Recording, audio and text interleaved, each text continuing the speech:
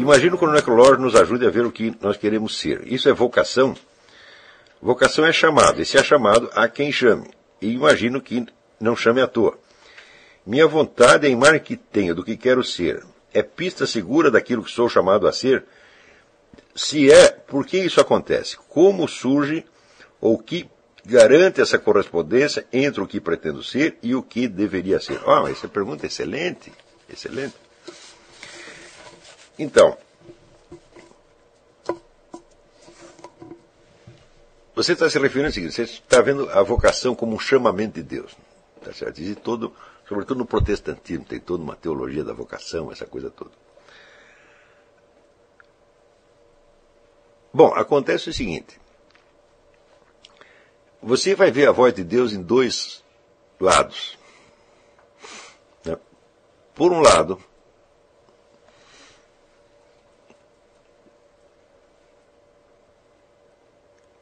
existe, vamos dizer, a presença de Deus na sua própria alma. E essa presença de Deus se manifesta através do que existe de melhor em você, de melhor e mais alto. Algo que você jamais vai atingir, algo que você jamais vai ser, mas do qual você está constantemente se aproximando. É o que o Platão chamava supremo bem. Por outro lado, Deus também fez o mundo, fez a realidade. E é na equação dessas duas coisas que você vai ver a vontade de Deus. Então, eu não estou dizendo que aquilo que você quer ser agora é exatamente a sua vocação, mas é a única pista que você tem. Você vai jogando com as duas coisas, com o que você quer hum, e o que a realidade te impõe. Hum. Existe um outro exercício que complementar a esse, que nós vamos fazer depois, não é não é para misturar agora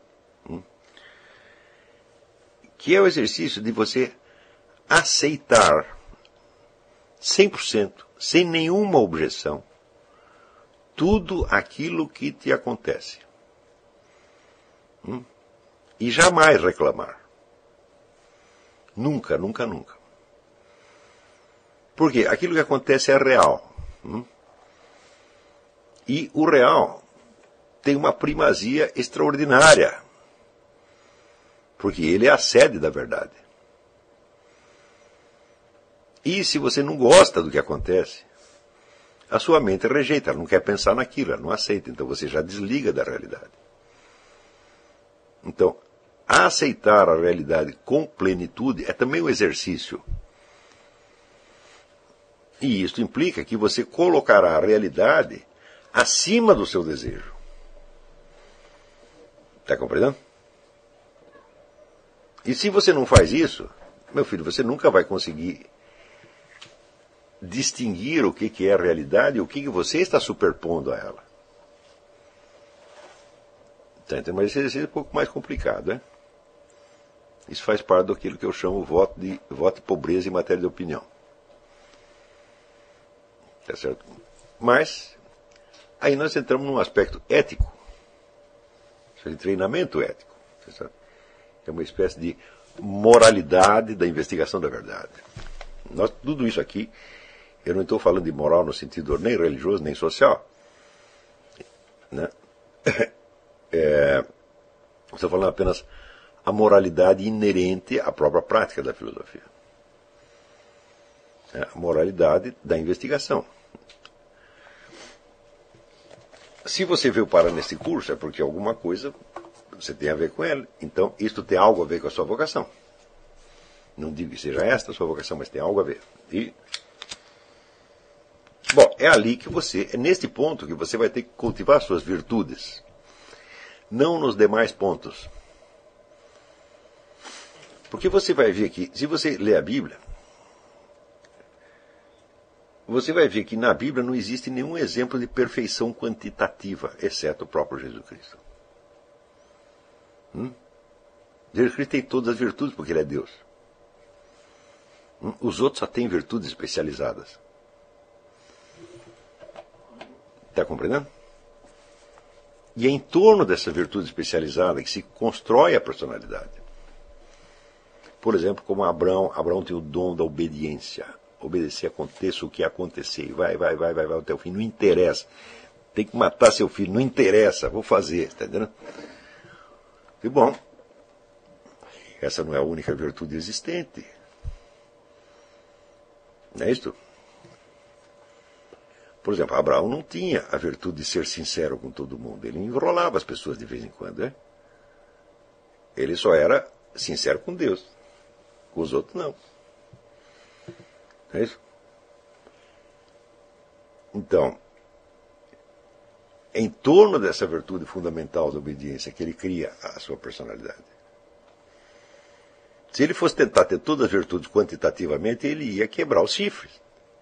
Isto não é acessível ao ser humano. Está entendendo? Então, quando chegar um moralista para você fazendo a lista dos seus pecados, você sabe aonde você manda ele, né? É, esqueça isso, meu filho. Fala, não, olha, eu vou fazer isto aqui, eu vou fazer direito, eu vou oferecer isso para Deus com o melhor que eu possa. E o resto, o resto vai do jeito que der. Entendeu? Se as pessoas te acusarem de não ter esta ou aquela virtude, né? Você fala, você não tem a virtude de não encher o saco, por exemplo. Está entendendo?